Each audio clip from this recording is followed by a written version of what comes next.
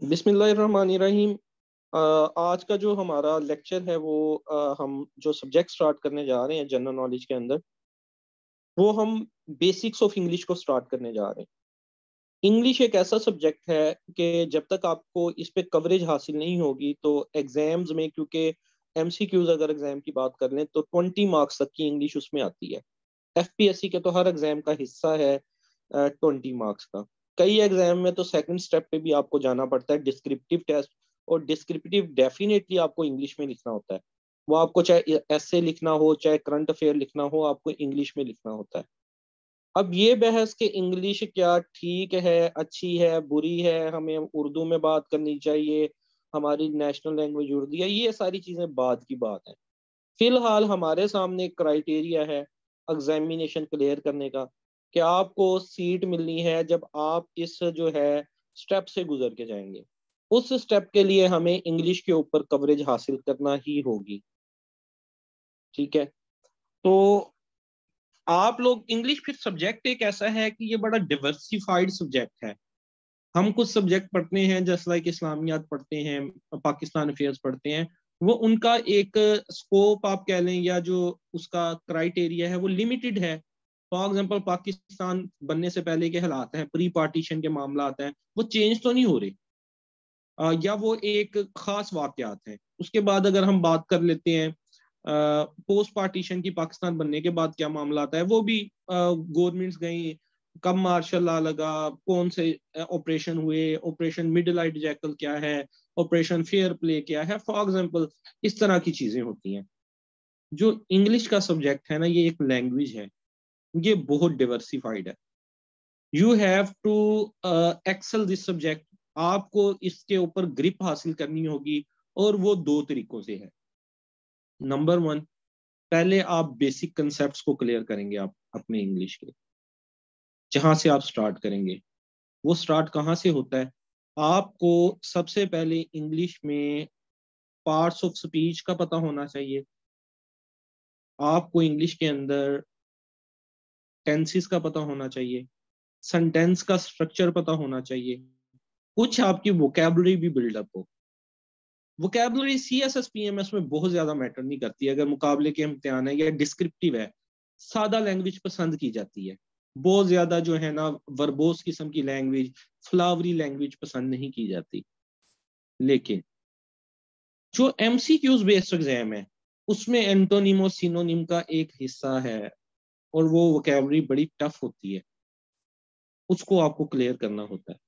तो हम स्टार्ट यहाँ से लेते हैं कि आमतौर पे जो वन पेपर एमसीक्यू एग्ज़ाम्स हैं, उनमें इंग्लिश आती किन किन पोर्शन में से है? हम एनालाइज करते हैं कि जो वन पेपर एमसीक्यू एग्ज़ाम होते हैं, उसके अंदर चाहे वो सब्जेक्ट वाइज हो ट्वेंटी मार्क्स की उसमें भी इंग्लिश आनी होती है। चाहे वो किसी एजेंसी के रिलेटेड हो एफ़ आई ए हो आई बी हो ए एस एफ़ हो कस्टम्स हो उसमें भी ट्वेंटी मार्क्स की आनी है। चाहे वो पीपीएससी है वहाँ पे इंग्लिश के भी एमसीक्यूज आने हैं। तो वो कौन से एरियाज़ हैं जहाँ से एग्जामिनर आपसे टेस्ट लेता है क्वेश्चन पूछता है? एक तो वो आपसे सेंटेंस कंप्लीशन के कुछ आ, होते हैं। आगे चल के मैं आपको इसकी एग्जांपल्स भी दिखाऊँगा। और पास पेपर के क्वेश्चंस भी दिखाऊँगा। पार्ट ऑफ़ स्पीच होते हैं। वो आपसे पूछ सकता है कि एक सेंटेंस दिया हुआ है। उसमें से एक वर्ड को अंडरलाइन किया हुआ है और वो पूछता है कि ये आ, कौन सा पार्ट ऑफ़ स्पीच है? राइट टेंस का यूजेज टेंस वो आपको ऊपर एक सेंटेंस दे देता है और नीचे पूछता है कि करेक्ट कौन सा है? अब आपको सेंटेंस बनाना आएगा फिक्रा बनाना आएगा तो आप जज कर पाएँगे ना नीचे चार में से कि नीचे चार में किसी ने तीन में गलती होगी कोई ना कोई छोटी मोटी कहीं पे प्रपोजिशन का गलत यूज़ किया होगा कहीं पे टेंस का गलत यूज़ किया होगा कहीं पे जो है वो सब्जेक्ट वर्ब एग्रीमेंट को नहीं मद्देनजर रखा होगा। सबसे इंपॉर्टेंट पार्ट प्रेपोजिशन ये बहुत इंपॉर्टेंट पार्ट है। मोस्टली पेपर में ये ज़्यादा हिस्सा पूछा जाता है। अच्छा ये जो आपके सामने मैंने पोर्शंस रखे एग्जामिनर इज़ नॉट बाउंड कि वो इन हर पोर्शन में से फॉर एग्ज़ाम्पल अगर पाँच पोर्शन है, बीस नंबर का उसने पेपर देना है तो वो चार चार नंबर के देगा। He is not bound may be possible वो ट्वेंटी के ट्वेंटी मार्क्स सिर्फ़ प्रेपोजिशन ही पूछ ले, एक पेपर में।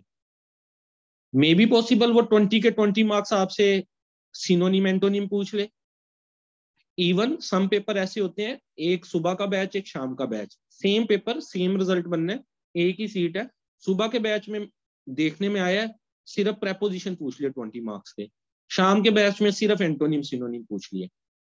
तो इसका हल ये है कि आपको इन सारे एरियाज़ पे कवरेज हासिल करनी होगी। हम रिस्क बेस नहीं चल सकते लक बेस नहीं चल सकते, तुक्कालाइजेशन बेस नहीं चल सकते।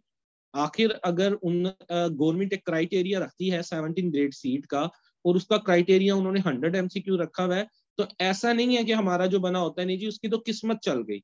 नहीं जी, तुक्के चल गए। ऐसा नहीं है बिल्कुल भी। ठीक है? मैट्रिक, नौवीं, दसवीं एफएससी तक तो हो सकता है। ये मामला चलते हो एफ़ पीपीएससी में जो आपके कमीशन हैं, उसमें ये तुक्कालाइजेशन वाला कंसेप्ट नहीं है। जिसको आता है प्रोबेबिलिटी ट्वेंटी फाइव परसेंट है। मतलब चार एमसीक्यू है। एक वर्ड होता है प्रोबेबिलिटी के। आप उनमें से कोई आंसर सेलेक्ट करेंगे तुक्के में। तो आपकी कितनी प्रोबेबिलिटी प्रोबेबिलिटी होगी पच्चीस परसेंट पच्चीस परसेंट एक एमसीक्यू पच्चीस परसेंट दूसरा, पच्चीस तीसरा, पच्चीस चौथा। मतलब कि टोटल अगर आपकी टोटल लक भी चल जाती है तो आपके पच्चीस नंबर आ सकते हैं। लेकिन एग्जामिनर का जो क्राइटेरिया अगर आपने एक अच्छे सीट पे जाना है सेवनटीन ग्रेड की तो कम से कम उसमें आपको सेवेंटी टू एटी नंबर लेने पड़ते हैं। और बल्कि इससे भी ज़्यादा सेवेंटी टू एटी से भी ज़्यादा लेने पड़ते हैं। फिर आपकी वोकेबलरी जज की जाती है पेपर्स में, जिसके अंदर सिनोनिम्स एंटोनिम्स और एनालॉजीज आ जाती हैं। ये पार्ट थोड़ा सा टफ होता है बींगे पाकिस्तानी बींगे हम जिस तरह हमारी स्कूलिंग वगैरह रही तो हमारे लिए ये वोकेबलरी वाला पोर्शन और काफ़ी सारा हम कवर करने की कोशिश करते हैं इसको। थ्रू डॉन न्यूज़पेपर हम करते हैं डॉन न्यूज़पेपर पढ़ते हैं उसके मुश्किल वर्ड का। आजकल तो पीडीएफ फाइल्स भी चल जाती हैं पीडीएफ फाइल्स आ रही होती हैं, उसके अंदर सीनोनिम्स एंटोनिम्स वगैरह लिखे होते हैं। उसके थ्रू हम कवरेज करते हैं, कुछ जीआरई की लिस्ट है उसको कवरेज करते हैं but that is totally cramming based I am not astonished am not uh, worried to use this word cramming. English में हमें क्रैमिंग करनी पड़ती है। कुछ चीज़ें ऐसी हैं आपको वो सिनोनिम्स हैं एंटोनिम्स हैं उधर क्रैमिंग ही करनी पड़ेगी। वर्ड्स को मेमोराइज करना पड़ेगा। उसके लिए कुछ असूल आप आ, याद कर सकते हैं लेकिन अल्टीमेटली कुछ ना कुछ आपको क्रैम भी करना पड़ता है। कुछ चीज़ें होती हैं जो हम समझते हैं अंडरस्टैंड करते हैं और कुछ चीज़ें होती हैं जिसको रूट लर्निंग बोला जाता है। देखें, जो हिरारकी भी है ना लर्निंग की, जिसको मेजुलो हिरारकी बोलते हैं, वो हमें कहता है कि पहला स्टेप जो है, वो अंडरस्टैंडिंग समझना या क्रैम करना होता है। फिर उससे अगला स्टेप उसको एनालाइज करना क्रिटिक क्रिटिकल एनालिसिस करना, फिर सबसे आखिरी स्टेप होता है सेंथेसिस करना, कोई न्यू सोचे डेवलप कर लेना। हम पाकिस्तान में हमें आमतौर पे पहले स्टेप से ही आगे नहीं जाने दिया जाता। स्कूल लेवल तक तो जिसको बोलते हैं क्रैमिंग ये हमारे सिस्टम का हिस्सा है ना? और C S S P M S में आप चौथे स्टेप के ऊपर चले जाते हैं, जिसको एनालिसिस बोलते हैं। ये मेजलो की है, एक ये साइंटिस्ट है उनकी। और आखिरी स्टेप होता है सेंथसिस करना, अपनी सोचें डेवलप करना, अपनी कोई बात करना, जैसे राइटर क्रिएटिव राइटर और मुफक्कर करते हैं वो बड़ा कम होता है। सी एस एस में भी हमें एनालिसिस वगैरह का पूछा जाता है। दो सिचुएशंस के दरमियान अपना एनालिसिस कर दें अपना तजिया पेश कर दें। तो बेसिकली बताने का कि हम अभी पाकिस्तानी एजुकेशन सिस्टम में क्रैमिंग से ही आगे नहीं निकल रहे। तो जब हमें नहीं निकाला जा रहा तो हमारी मजबूरी है कि अभी हमें इधर ही स्टिक करना पड़ेगा जहाँ तक वो हमें कहते हैं। तो जी आ, हम अब पोर्शन देखते हैं कि मोस्ट रिपीटेड पोर्शन एग्ज़ाम्स में जो हैं, वो कौन कौन से होते हैं। तो देखिएगा कि दो चीज़ें होती हैं जो आपकी इंग्लिश के पोर्शन में जज की जाती हैं। एक ट्वेंटी मार्क का पोर्शन है जो वो आपसे पूछ रहा है, उसके अंदर दो चीज़ें हैं। One thing is grammar and second thing is vocabulary एक आपकी ग्रामर का टेस्ट किया जाता है और सेकंड आपकी वोकेबलरी का टेस्ट किया जाता है। अब किसी पेपर में जस्ट वो ग्रामर पूछ ले, ये भी एग्जामिनर की मर्ज़ी है। किसी पेपर में जस्ट वो वोकेबलरी पूछ ले, ये भी एग्जामिनर की मर्ज़ी है। Examiner is not bound to fix any portion कि इसी पोर्शन में से पूछना है या इस तरह इस तरह डिवाइड करना है। एग्जामिनर को जस्ट ये कहा जाता है ट्वेंटी मार्क्स के इस पेपर में आपने एमसीक्यूज डाल देने। अब वो उसकी मर्ज़ी है किस पोर्शन में से डालता है। तो सबसे पहले हम ग्रामर को देखते हैं। ग्रामर में जो चीज़ें आ जाती हैं वो एक तो पार्ट ऑफ़ स्पीच आ जाता है। मस्ट है पार्ट ऑफ़ स्पीच ये मैं आपको ये जितने पोर्शन है वन बाय वन इनका थ्रू एग्जांपल्स दिखाऊँगा। पेपर में ये किस तरह से पूछे जाते हैं। फिर नेक्स्ट लेक्चर्स में हम पार्ट एक लेक्चर में पार्ट ऑफ़ स्पीच को भी पढ़ेंगे। एक में हम टेंसिस के यूजेज को भी पढ़ेंगे। एक में हम प्रेपोजिशंस को भी पढ़ेंगे। आ, हम कुछ सिनोनिम एंटोनिम और एनालॉजीज इनकी तो मैं आपको फाइल्स प्रोवाइड कर सकता हूँ। ये तो मैं आपके मतलब माइंड में डाल नहीं सकता। कुछ यूट्यूब चैनल्स हैं जो इनको अच्छे हैं, जो सिखाते हैं वर्ड एसोसिएशन के ज़रिए वोकेबलरी वो हमें आपको सुजेस्ट कर दूँगा। वो आप उसको देख के अपनी प्रैक्टिस से बेहतर कर सकते हैं। बट हमारे पास जहरी बात है, एक लिमिटेड टाइम पीरियड होता है, तीन महीने का, उसमें हमने different subject one by one cover करने होते हैं।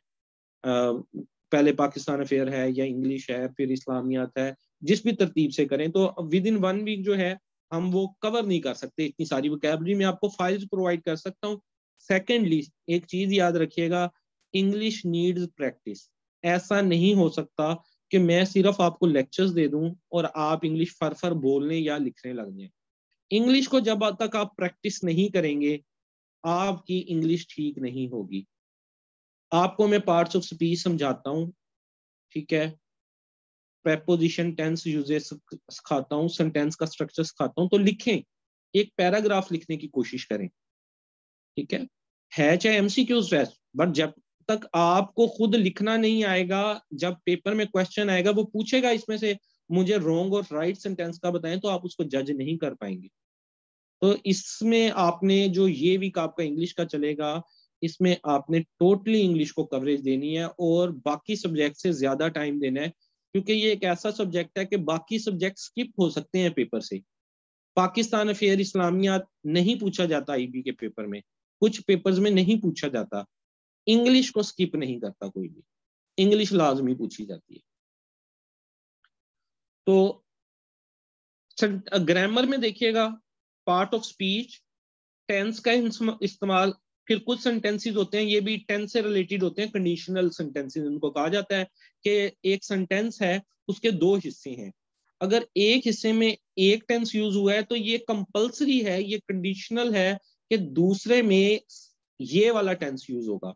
इसकी टाइप होती है zero conditional first conditional second conditional and third conditional sentences वो भी हम देखेंगे।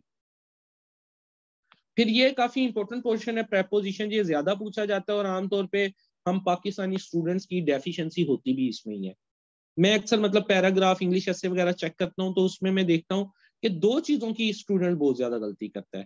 करेक्ट यूज़ ऑफ़ प्रेपोजिशन का और सेकेंडली आर्टिकल का यूजेज आर्टिकल से मुराद होती है a an and the a and the ये वर्ड जो है कहलाते हैं आर्टिकल्स ये स्टूडेंट नहीं यूज़ करता सन, आ, जो है ना अपनी राइटिंग के अंदर। तो इनके ऊपर ज़्यादा आपको फोकस करने की ज़रूरत है। और सेकंड वोकेबलरी का पोर्शन आ जाता है। ऊपर वाली चीज़ से आपकी ग्रामर चेक हो जाती है और वोकेबलरी सिनोनिम्स देके एक जैसे लफ्ज, एक आपको वर्ड दे देगा, वो पूछेगा, इसका सिनोनिम कौन सा है? नीचे दिए हुए चार पोर्शन चार ऑप्शंस में से इसका नियर टू जो है meaning near to similar meaning कौन सा है? सिमिलरली एंटोनिम्स वो आपसे पूछता है कि जो ऊपर वर्ड दिया हुआ है, उसका नीचे दिए हुए वर्ड में से अपोजिट वर्ड कौन सा है? एंड फिर एनोलॉजीज एनोलॉजीज के बारे में भी आपको पता है कि दो वर्ड दिए होते हैं ऊपर, ठीक है? फॉर एग्ज़ाम्पल स्टूडेंट और स्कूल ये दो इस तरह से वर्ड दिए होंगे, नीचे फिर ऑप्शन दिए होंगे ऐसे, दो दो वर्ड के। आपने जज करना होता है कि इन दो वर्ड्स में जो रिलेशनशिप पाया गया नीचे वाले सेंटेंसेस में से वो, नीचे वाले ऑप्शंस में से वो कौन सा ऑप्शन है जिसमें सेम रिलेशनशिप पाया जाता है? ये मैंने आपको अब तक जस्ट एक ओवरव्यू दिया है जो हमने आने वाले दिनों के अंदर इंग्लिश के अंदर पढ़ना है। अब हम कुछ पास पेपर्स में से यही चीज़ें देख लेते हैं कि पास पेपर में किस लेवल का ये पूछे जाते हैं चीज़ें।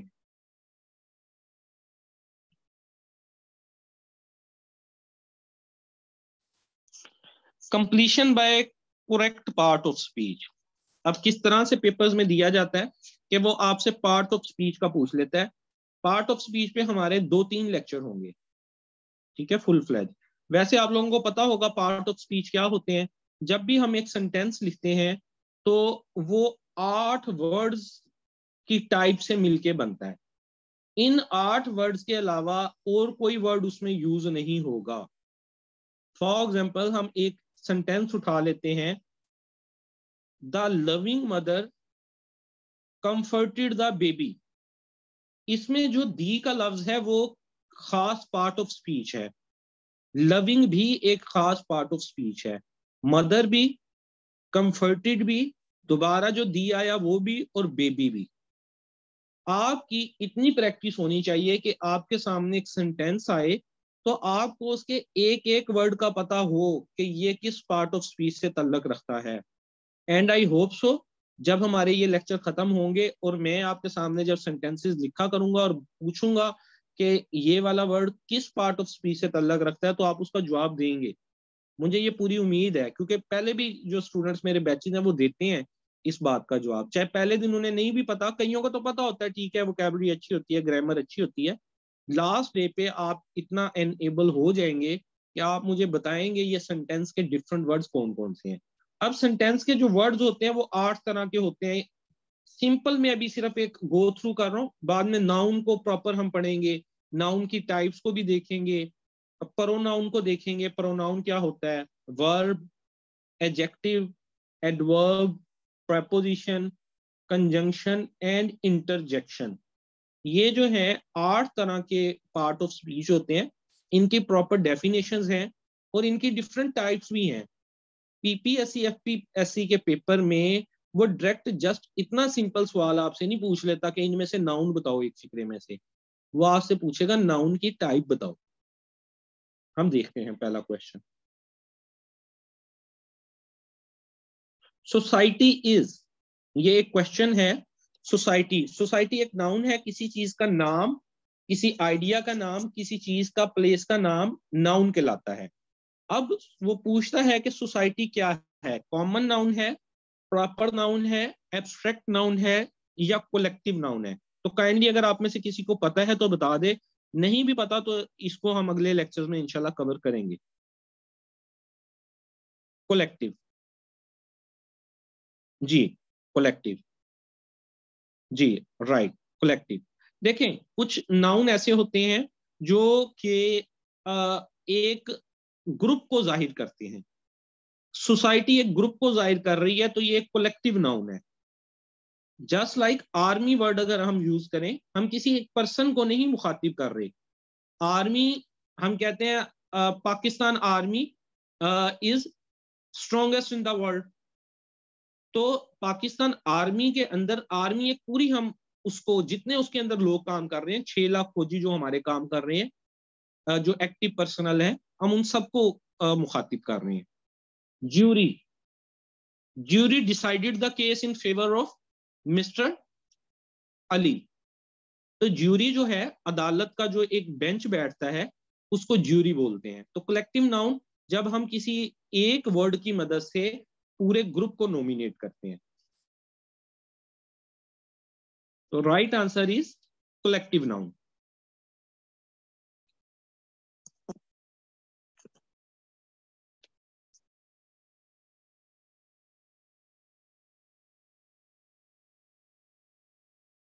after that second example देखिएगा।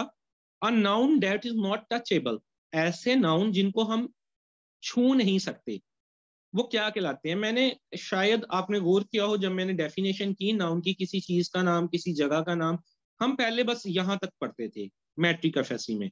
लेकिन किसी सोच का नाम, किसी आइडिया का नाम, किसी फीलिंग का नाम भी नाउन कहलाता है। और ऐसे नाउन जो आप सिर्फ़ सोचते हैं, जिनको टच नहीं किया जा सकता, जो आपकी फीलिंग्स होती हैं, वो एब्स्ट्रैक्ट नाउन कहलाते हैं। अब अगर मैं एग्जांपल दूँ फॉर एग्जांपल लव लव आप सोच सकते हैं, लव को टच नहीं किया जा सकता। एंगर, गुस्सा गुस्सा एक जो एंगर वर्ड है, ये एक नाउन है, ये एक नाम है, ये फीलिंग का नाम है। But you can not touch anger तो ऐसे नाउन जिनको टच किया जा सके, वो कंक्रीट होते हैं और जिन्हें ना टच किया जा सके, वो एब्स्ट्रैक्ट होते हैं। नाउन को ना हम डिफरेंट टाइप से क्लासिफाई कर लेते हैं। कॉमन नाउन प्रॉपर नाउन आम चीज़ का नाम कॉमन किसी खास चीज़ का नाम प्रॉपर इसी तरह नाउन की एक डेफिनेशन हम ऐसे भी करते हैं कि वो चीज़ें जिन्हें हम छू सकें, वो कंक्रीट नाउन और जो चीज़ें हम सिर्फ़ सोच सकें डेट इज़ एब्स्ट्रैक्ट नाउन अब ये देखिएगा सेंटेंस ये एक पेपर में से है। What is the main verb in the following sentence अब इस तरह से भी वो आपसे पूछ सकता है। बेसिकली ये बताने का मकसद ये कि पार्ट्स ऑफ़ स्पीच को वो किस तरह से डिफरेंट एंगल से घुमा के आप लोगों से पूछ सकता है। तो देखिएगा he treaded slowly because of his bad health यहाँ पे जो मेन वर्ब यूज़ हुआ वर्ब होता है जो काम किया जाए। जो मेन वर्ब वो पूछ रहा है तो यहाँ पे जो ट्रीडिड का वर्ड है ट्रीडिड होता है लड़खड़ा के चलना।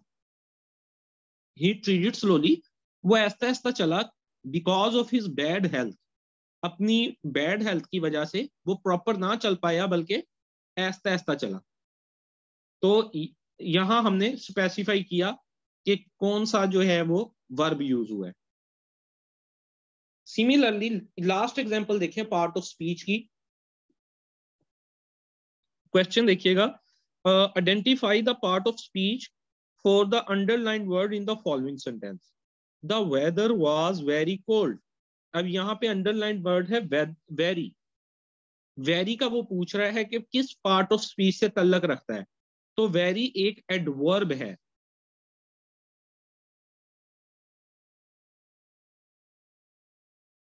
ठीक है?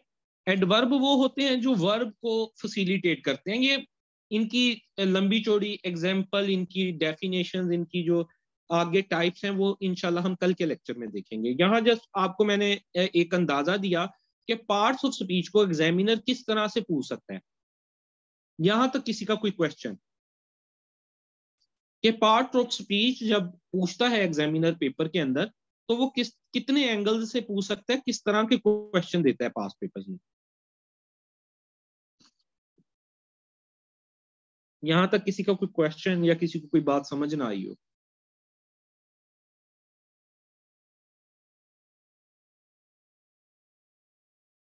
चलें।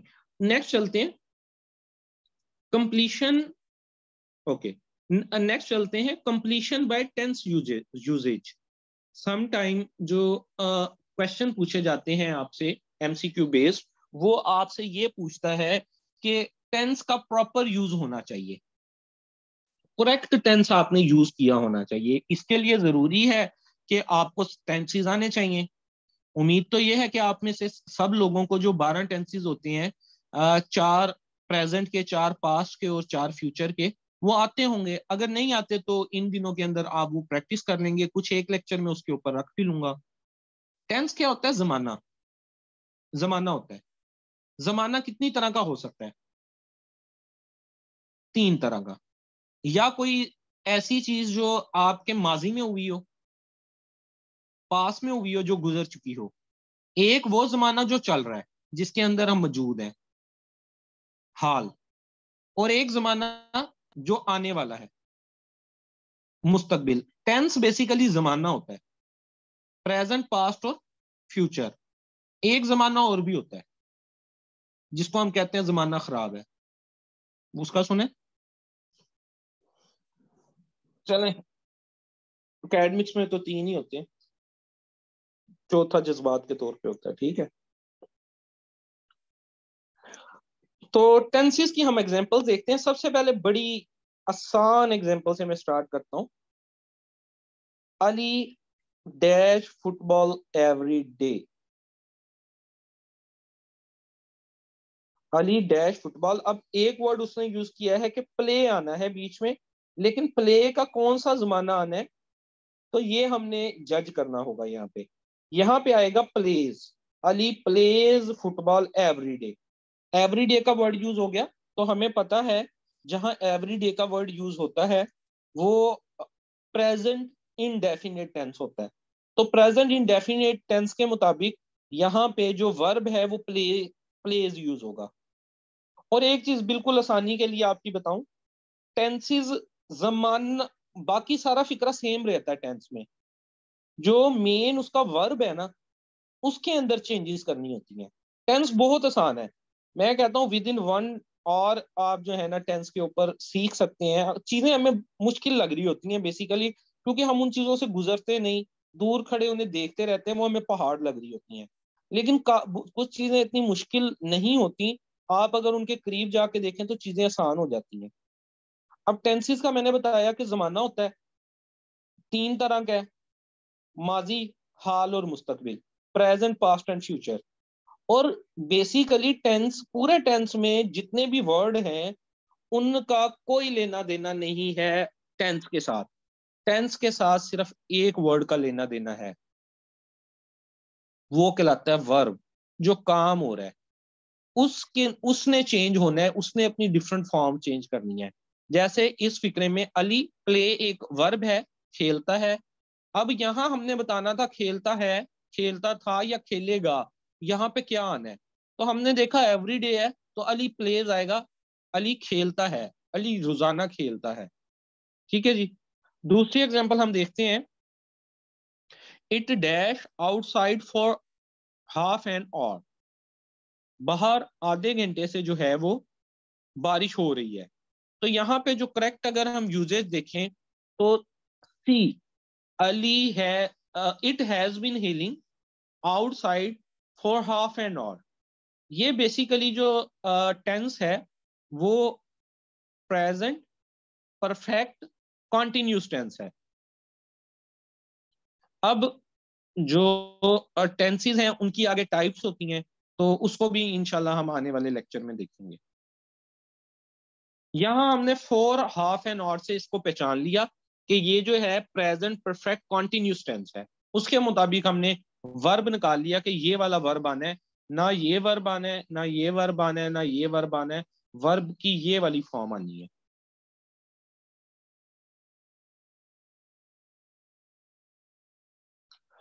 Next the sun dash at six this morning यहाँ पे वर्ड यूज़ हुआ रोज क्या कोई मुझे आप में से बता सकता है कि ये कौन सा टेंस है?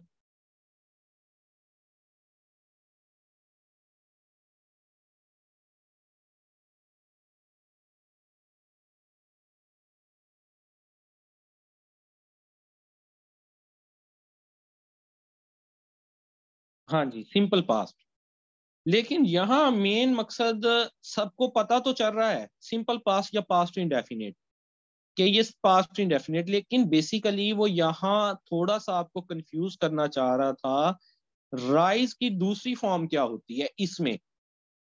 यहाँ ये पता तो चल रहा है, उसने तीनों ही राइज की, दीविया के राइज की सेकंड फॉर्म क्या होती है?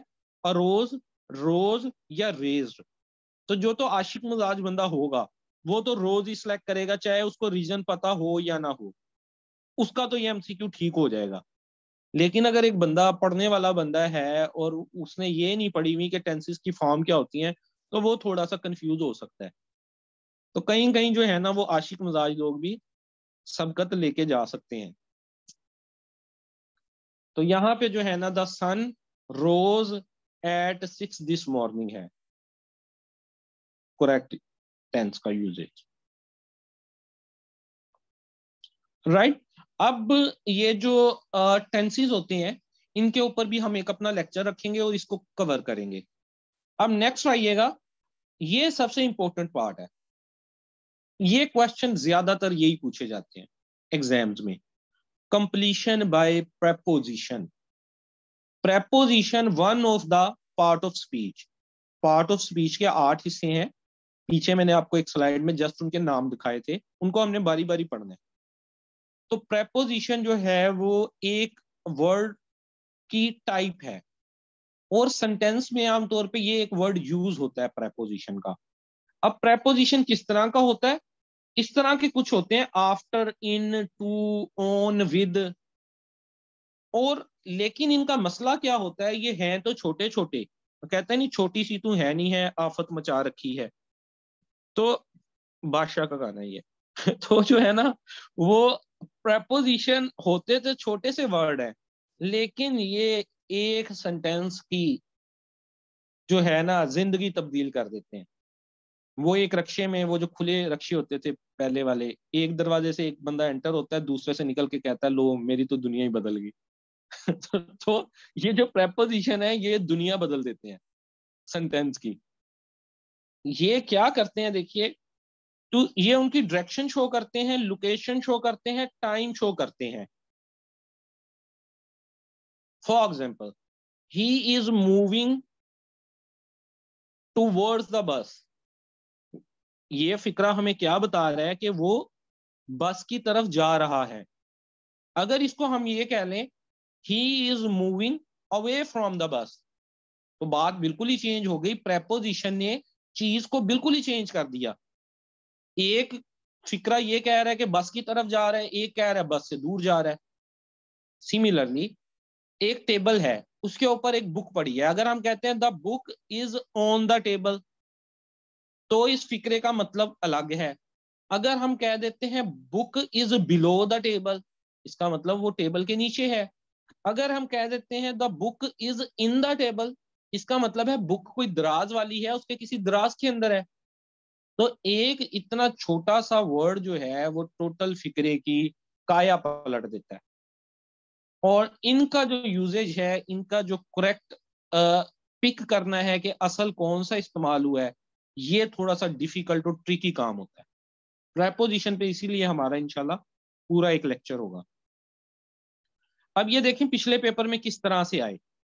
आ, पहला देखिए आ I saw him jump dash the wall अब यहाँ क्या आना है? I saw him jump over the at the या ऑन द तो यहाँ आएगा ओवर द वॉल वॉल के ऊपर से जंप लगाई है उसने। ऊपर से गुजरने में ओवर आता है। सेकंड देखिए this cloth is inferior to that inferior और सुपीरियर के साथ टू का वर्ड यूज़ होता है। कुछ मैं आपको प्रेपोजिशन में समझाऊँगा कि रूल्स एंड रेगुलेशन होते हैं। कि टाइम के साथ यही वर्ड यूज़ होना है प्लेस के साथ यही वर्ड यूज़ होना है, फला चीज़ के साथ यही वर्ड यूज़ होना है। लेकिन कुछ जो है वो आपको याद रखने पड़ते हैं। अब देखें the cloth is inferior to that है। सुपीरियर टू इनफीरियर सुपीरियर के वर्ड आएँगे तो वहाँ टू यूज़ होगा। सिमिलरली कुछ एग्जाम्पल्स हम जस्ट इनको पढ़ देते हैं। She is hopeful success in the C S S examination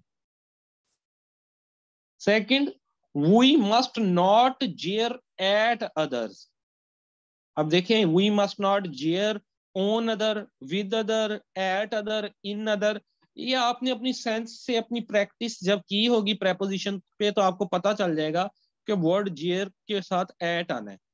jeer का मतलब क्या होता है? सेकंड थर्ड सेंटेंस देखिए, ये पास पेपर के क्वेश्चन है जो मैं आपको दिखा रहा हूँ, जो पेपर्स में आ चुके हैं। He is jealous of my promotion हाँ जी, मज़ाक उड़ाना। He is jealous in my promotion आप लगाए, नहीं। He is jealous with my promotion अब यहाँ ये थोड़ा सा मिलता जुलता लगता है ना। आप बंदा कंफ्यूज हो जाता है he is jealous with my promotion ना लगा दू। फिर he is jealous for my promotion he is jealous of my promotion but jealous के साथ ऑफ़ का वर्ड यूज़ होता है। तो उम्मीद है कि जो फीमेल ये लेक्चर ले रही है, उनको तो ये वर्ड नहीं भूलेगा। मेल चाहे भूल जाए, ठीक है? आखिरी देखिए he introduce me to his boss अब बाकी सारे लगा के देखें he introduce me from his boss नहीं, गलत है। He introduce me for his boss no गलत है।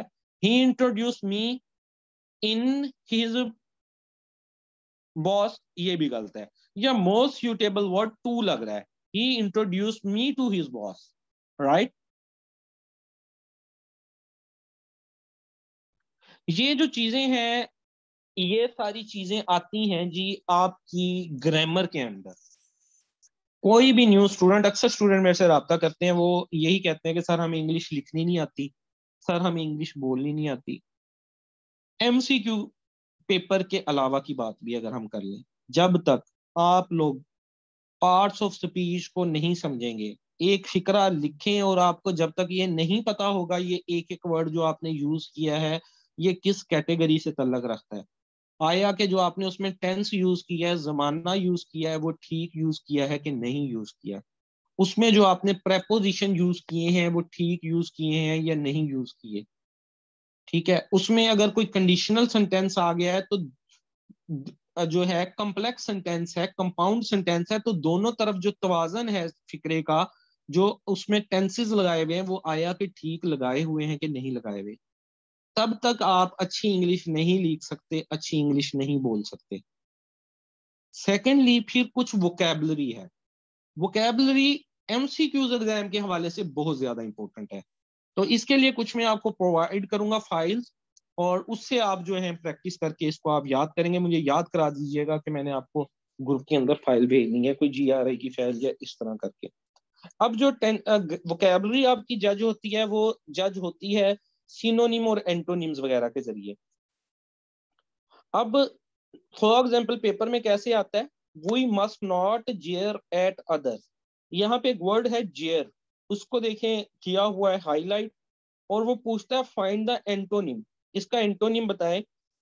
नीचे चार ऑप्शन है taunt mock tease and none of the above तो काइंडली बताइएगा, इसमें से सूटेबल आंसर इसका कौन सा होना चाहिए?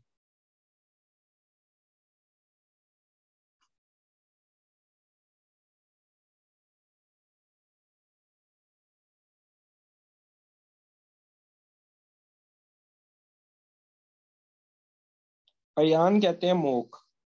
लैला काजमी कहती हैं मोक। साजिदा एजाज कहती हैं मोक।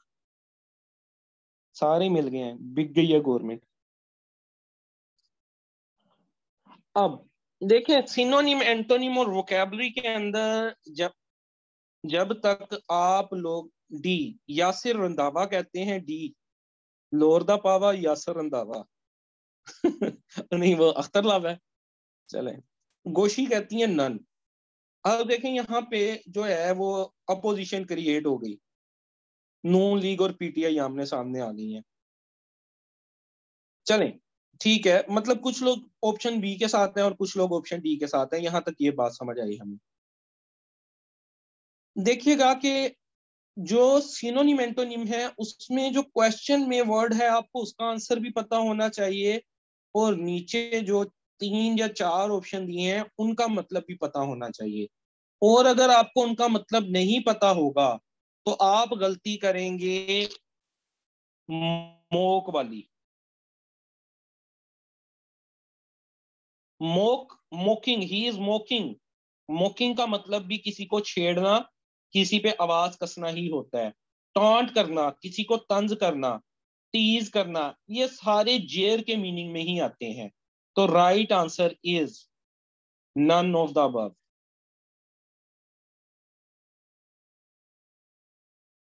तो वोकेबलरी आपकी स्ट्रॉन्ग जब उसी सूरत में होगी कि आपको ऊपर वालों का भी मतलब पता हो और नीचे वाले का भी मतलब पता हो। जेयर इसका तरीका कार क्या होता है? आप लोग जो है ना डॉन न्यूज़पेपर डेली बेसिस पर पढ़ा करें। डॉन न्यूज़पेपर में जो मुश्किल वर्ड आते हैं, उनको साइड पे लिख लें। उन गूगल पे उस वर्ड को लिखें फॉर एग्जांपल जियर को लिखा। जेयर का उसने ये भी बता दिया ये वर्ड की किस कैटेगरी से तल्लक रखता है, ये एक वर्ब है, ये काम किया जा रहा है, किसी के ऊपर जेयर करना ये काम है। मेक रूड और mocking remarks typically in a loud voice ऊँची आवाज़ में किसी के खिलाफ जो है आवाज़ें कसना ये लड़कों को याद रहेगा सही तरह से। आवाज़ें कसना या किसी के ऊपर छेड़ना उसको। तो सिमिलर इसके अंदर आ जाता है taunt mock ridicule deride tease insult abuse अब ये देखें वर्ड एक है।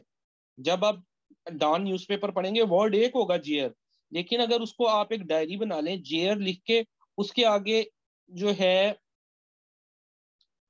एक सेंटेंस में जो है पहले में लिख लें सिनोनिम उसके आगे सिनोनिम लिख लें, फिर आप गूगल पे लिख दें जेयर एंटोनिम अगली लाइन में जेयर के एंटोनिम लिख लें। तो एक ही वर्ड से आपको 10 से 15 वर्ड याद हो सकते हैं। दिन में बहुत ज़्यादा नहीं, सिर्फ़ दो वर्ड याद करने। इंग्लिश एक ऐसी चीज़ है, जैसे हमने डिफरेंट सब्जेक्ट्स पढ़े, पाकिस्तान अफेयर पढ़ा ना अभी हमने, उसका टेस्ट लिया, उसको आप साइड पे रख देंगे। कोई मसला नहीं। इंग्लिश को आप साइड पे नहीं रखेंगे। इंग्लिश हर सब्जेक्ट के साथ आपको याद करनी पड़ेगी डेली बेसिस पे याद करनी पड़ेगी। फिर ही आपको इसके ऊपर जो है वो डेली के दो वर्ड इस तरह से याद कर लें। अब तो देखें चीज़ें आसान बहुत हो गई हैं। हमने उन्हें अपने लिए बहुत ज़्यादा मुश्किल बना लिया है। आसान कैसे हो गई हैं? आसान इस तरह हो गई हैं डिफरेंट ग्रुप्स हैं। डॉन एडिटोरियल के ग्रुप्स हैं।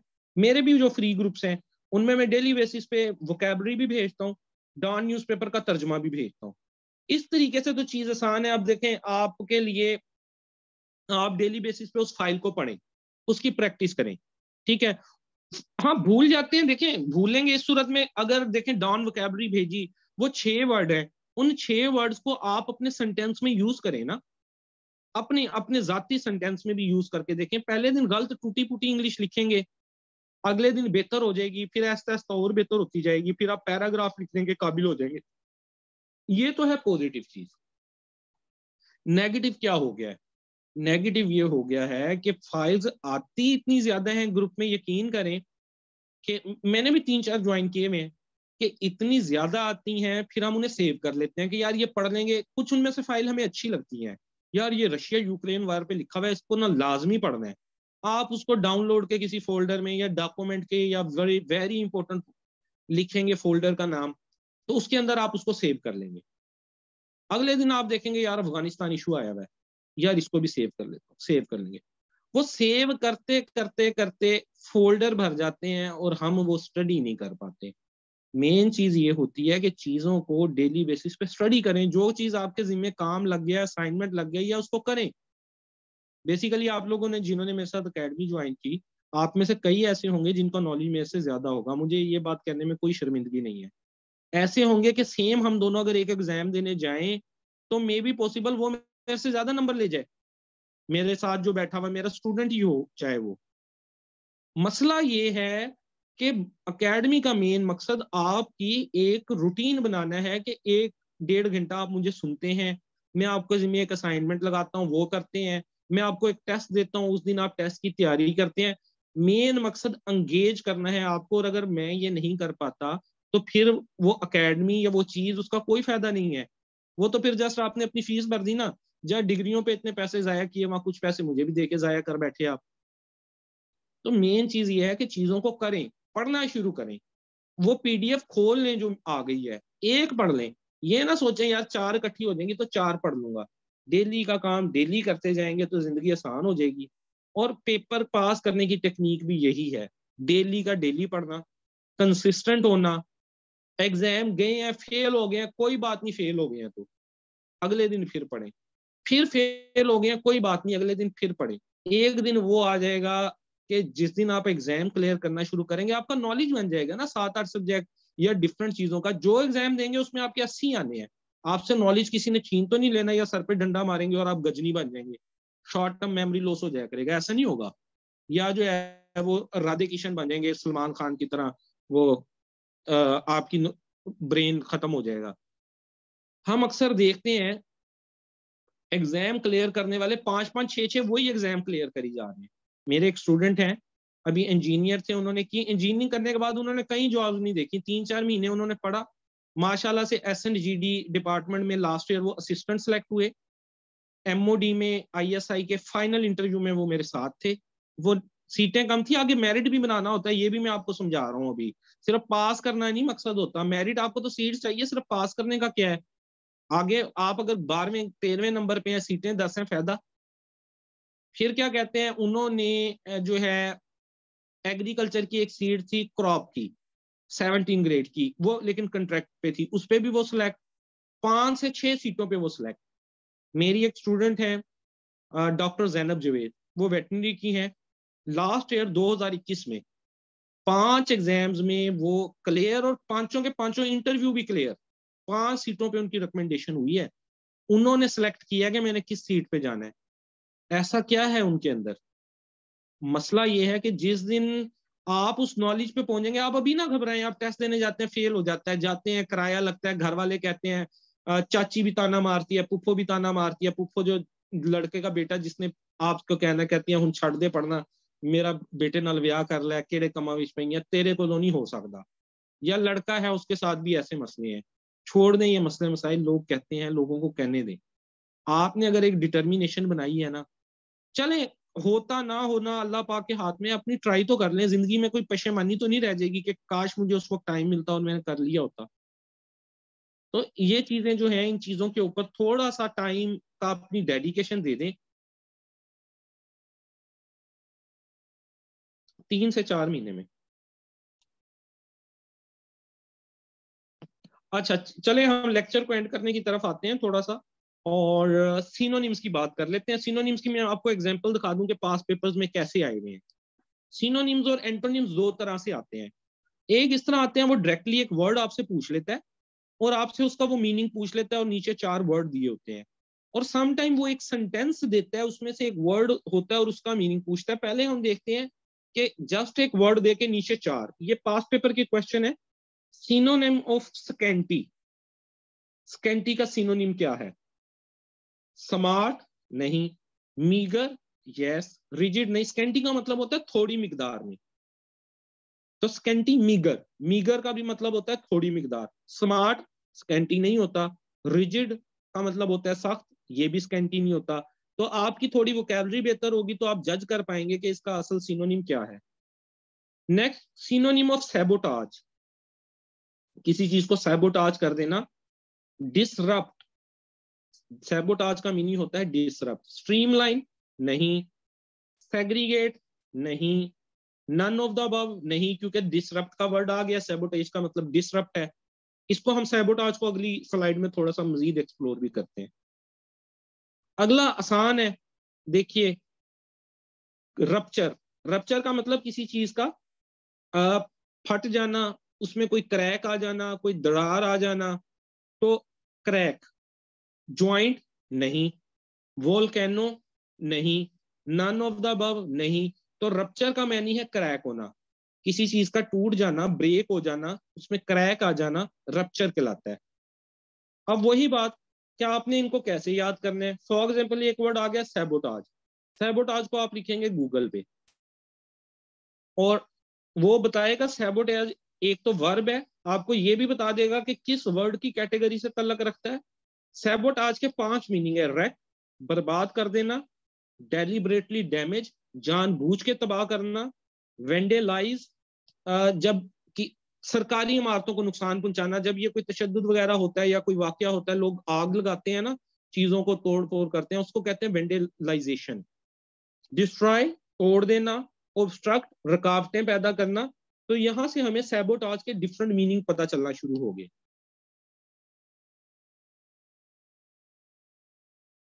फिर एक तरीका कार होता है कि वो आपसे सिनोनिम को सेंटेंस में पूछ लेता है। और सेंटेंस में जब वो पूछता है तो आपने उस वर्ड का मीनिंग बताना होता है सेंटेंस में क्या मीनिंग यूज़ हो रहा है। ये बड़ी इंपॉर्टेंट बात है। एक पेपर था गालबन एडी का उसके अंदर एक वर्ड दो दफ़ा पूछा गया। सेंटेंस डिफरेंट थे। ऑप्शन सेम थे ऊपर वाले में भी, नीचे वाले में भी। आपके नज़रों से भी एफपीएससी का वो शायद पेपर गुजरे। एडी का पेपर था। एडी के पेपर थोड़े से मुश्किल होते हैं असिस्टेंट डायरेक्टर के, किसी भी डिपार्टमेंट के। तो एक सेंटेंस में उसका जो जवाब था, वो ऑप्शन ए था और दूसरे में उसका जवाब ऑप्शन बी था। क्योंकि सेंटेंस के अंदर उसने उसकी मीनिंग ही चेंज कर दिया था। अब फॉर एग्ज़ाम्पल आप इसी में अगर देख लें he works in a company that fabricates room cooler यहाँ उसने फेब्रिकेट का मतलब पूछा। फेब्रिकेट का मतलब उसने चार ऑप्शन दिए मैन्युफैक्चर पॉलिश करना डिस्ट्रॉय करना या नन ऑफ़ दीज यहाँ पे है इसका मतलब मैन्युफैक्चर क्या वो कहता है? He works in a company वो एक कंपनी में काम करता है। डेट फैब्रिकेट्स रूम कूलर जो कि रूम कूलर बनाती है। हालाँकि फेब्रिकेट का मतलब किसी बात को चेंज करना।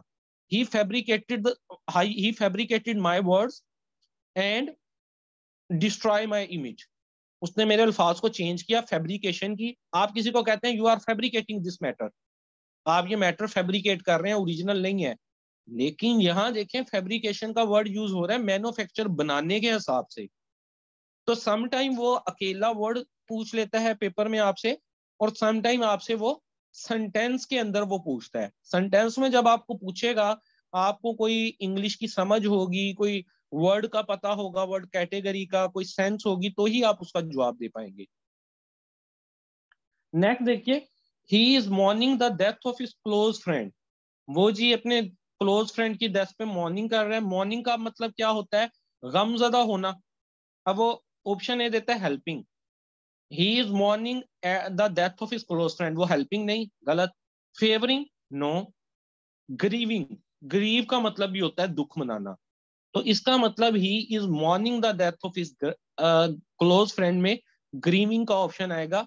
Mourning and grieving are same तो इस तरह से जी आपका ये पोर्शन जो है सिनोनिम वाला कवर हो जाता है। तो आज के लेक्चर में हमने ये चीज़ देखी कि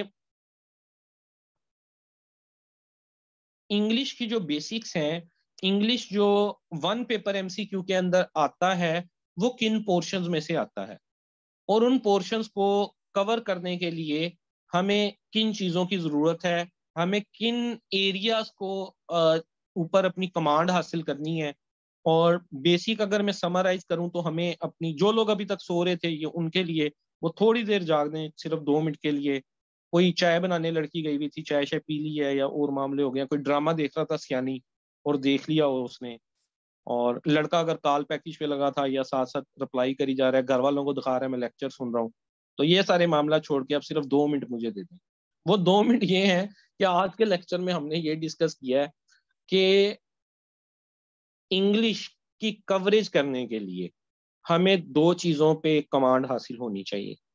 एक होती है ग्रामर और दूसरी होती है वोकेबलरी ग्रामर के कुछ पार्ट आ जाते हैं, जिसमें आपका आ जाता है पार्ट ऑफ़ स्पीच आपके आ जाते हैं टेंसेस आपको देखना पड़ता है प्रेपोजिशंस क्या होते हैं कंडीशनल सेंटेंसेस क्या होते हैं सेंटेंस का स्ट्रक्चर क्या होता है? सेंटेक्स क्या होता है? सेंटेंस की टाइप्स क्या होती हैं? सिंपल कंपाउंड और कम्प्लेक्स ये आने वाले लेक्चर्स में हम इसको अलहदा अलहदा पढ़ेंगे। सिमिलरली ग्राम अगर हम वोकेबलरी की बात कर लें तो वोकेबलरी के अंदर सिनोनिम्स एंटोनिम्स और एनोलॉजीज आ जाती हैं। इन चीज़ों का मकसद ये होता है कि आपकी इंग्लिश की वोकेबलरी जज करना। तो इन चीज़ों को आपने जो है कवर करना है और ये एक ऐसी चीज़ है कि इन हमारे आने वाले सात से आठ लेक्चर होंगे और फिर इस पे ऊपर हमारा एक टेस्ट हो जाएगा। उसमें कवर कर लें, अगर उसमें जितना कवर होता है उतना कर लें। कुछ को लगे, नहीं, हम, मैं साथ नहीं चल पा रहा, सर, ज़्यादा पढ़ाने लग गए हैं, मैं अभी जो है वो बीए का स्टूडेंट हूँ या जो है अभी इतना मैं नया नया स्टूडेंट निकला वो कम पढ़ ले, दोबारा रिवाइज कर ले। ज़िंदगी खत्म तो नहीं होने लगी। एग्ज़ाम्स में ये चीज़ याद रखनी होगी आपको कि जल्दी काम नहीं करेगी कि आप बड़ी हरी में हो कि मुझे जॉब चाहिए। मैंने तो जी जॉब करनी है। ऐसे नहीं होगा कि पक्की पकाई जॉब आपके पास आ जाएगी। आपको पहले तो चीज़ों को कवर करना होगा। फिर एग्ज़ाम्स देने होंगे। एग्ज़ाम्स में कुछ में फेल होना पड़ेगा। घर वालों की, मोहल्ले वालों की सबकी बातें सुनना पड़ेगी। उसके बाद एक ऐसा लेवल आ जाएगा कि आप जो एग्ज़ाम देंगे वो पास होता जाएगा। या तब तक अगर आप ये सारी चीज़ें नहीं कर सकते, किसी छोटी सीट पे अप्लाई कर दें आती रहती हैं। जूनियर कलर की आ जाती है, ग्यारहवें ग्रेड की आ जाती है। अगर बाकियों के मुँह माल कराने चलो वो कहे, मुंडा सरकारी नौकरी पे है। तो उसके लिए किसी छोटी जॉब पे अप्लाई करते अभी अगले महीने में काफ़ी सारी जॉब्स आ रही हैं। S and G D department की आ रही है सर्विसेज़ और बड़ी कमाल की जॉब होती है असिस्टेंट की, सोलहवें ग्रेड की। ठीक है? एक्साइज एंड नार्कोटिक्स इंस्पेक्टर की आनी है। आईबी के अंदर आनी है और यकीन करें कि कुछ जॉब्स ऐसी हैं जो सीएसएस और पीएमएस से भी अच्छी हैं। सीएसएस के दो या तीन ग्रुप अच्छे हैं। आप फॉरेन सर्विस में चले जाएँ, वो बेहतरीन है। आप पुलिस में चले जाएँ, वो बेहतरीन है। या आप एडमिनिस्ट्रेटिव सर्विस में चले जाएँ कमिश्नर कमिश्नर बाकी जित, और ये ऊपर वाले होते हैं सिर्फ़ पच्चीस तीस लोग। बाकी किसी को रेलवे में, किसी को पोस्ट ऑफ़िस में यह ऐसे प्लेस किया जाता है। और उनसे भी अच्छी सीटें जिनमें आपके हाथ में अथॉरिटी होती है IB intelligence bureau ISI ASF airport security force ये दरमियाने लेवल की है, ठीक है? और F I A federal investigation agency ADs कुछ डिपार्टमेंट के असिस्टेंट डायरेक्टर्स लेकिन बात यह है कि ये पीस ऑफ़ केक नहीं है। लगने के तो फिर हर बंदा लग जाए पचास पचास हज़ार बंदा अप्लाई करता है, लेकिन वो पचास हज़ार बंदा पढ़ के नहीं ना जाता। जो सही लेवल के साथ जाना है कि जिसमें आपने अस्सी पचासी नंबर देने हैं, वो कुछ लोग होते हैं। अब आपने क्या उन लोगों में आना है, ये आप पे डिपेंड करता है। या आपने जो है, वो फिर फूफो के लड़के से ही शादी करनी है, जिसके साथ बात चल रही है आपकी।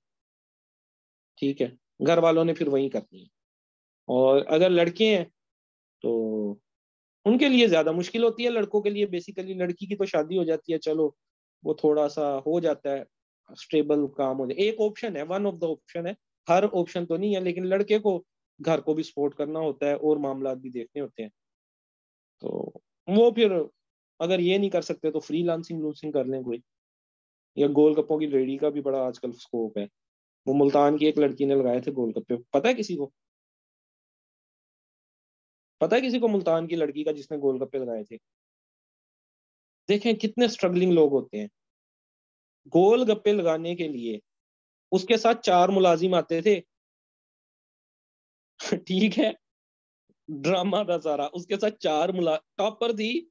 चार मुलाजिम आते थे जो डब्बे शब्बे सारा कुछ सेट करके वो उसका सामान, समून और बेहतरीन किस्म की पित्तल की कढ़ाइयाँ रखते होते थे। तो उसके लिए भी पैसा चाहिए होता है। हर बंदा मशहूर भी नहीं हो जाता। फसादन बुपो। हर जगह ऐसे ही है। हाँ जिक्रियन थी बाउद्दीन जिक्रिया की टॉपर थी, लेकिन बाद में उसको कहीं जॉब ऑफ़र होगी, वो चली गई। बस उसने एक सिंबलाइज प्रोटेस्ट किया था। एक थोड़ा सा प्रोटेस्ट करने की कोशिश की थी कि मैंने जॉब दे दे क्यों नहीं।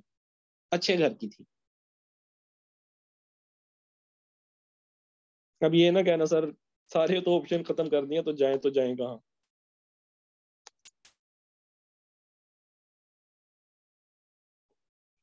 एक ऑप्शन है। आप अपने स्टेटस पे लगा लें। मेरे पास तुम हो।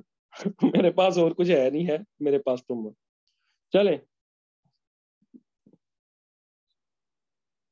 ठीक है जी। कोई क्वेश्चन वगैरह आप लोगों का हो तो आप लोग पूछ सकते हैं। और ये लेक्चर की मैं स्लाइड्स ग्रुप के अंदर भेज देता हूँ। हाँ। चलें, ठीक है जी। छुट्टी करें फिर। ओके जी। अल्लाह हाफिज़